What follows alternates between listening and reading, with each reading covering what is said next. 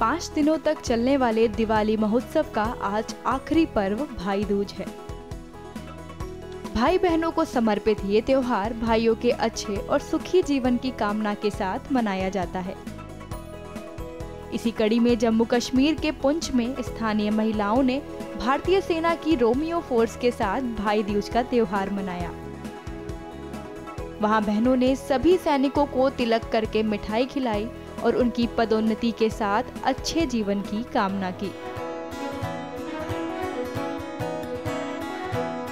ये जो त्यौहार है, ये बहनें जो हैं, भाइयों की पूजा करती हैं, उनकी लंबी उम्र की कामना करती हैं। और ये त्यौहार सबसे पहले चला था सूर्य देव के बेटा था यमराज और बेटी थी यमुना। तो जब यमुना की, यमराज को याद आई तो उसने कहा कि यमुना तो गौलोक में है तो मैं जाके अपनी बहन से मिलता हूँ।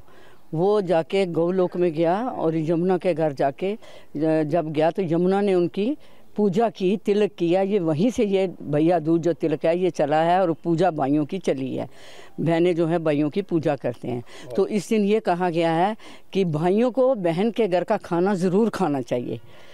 ये जो खाएँगे तो इससे उनके जितने भी पाप हैं वो धुल जाएँगे। और इस दिन यमुना के किनारे जो बहन भाई स्नान करते हैं वो सत्यलोक से उनमें उनका निवास होता है। इस चीज़ को देखते हुए आज आप बॉर्डर पे भाइयों को इसीलिए हम यहाँ पर भाइयों की पूजा करने आई हैं और हम यही दुआएँ करती हैं कि हमारे भाई ये तरक्की करें और हर तरह से ठीक ठाक अपने घरों में सर्विस अपनी पूरी करके अपने अपने घरों में जाएँ अपने बच्चों के लिए और देश की रक्षा करके ये उच्च उच्च पदों पर जाएँ।